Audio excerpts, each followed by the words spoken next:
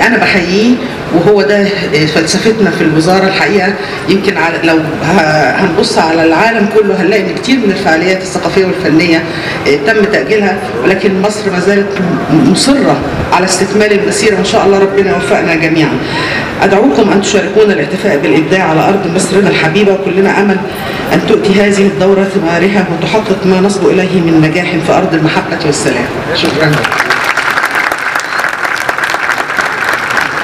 Hello,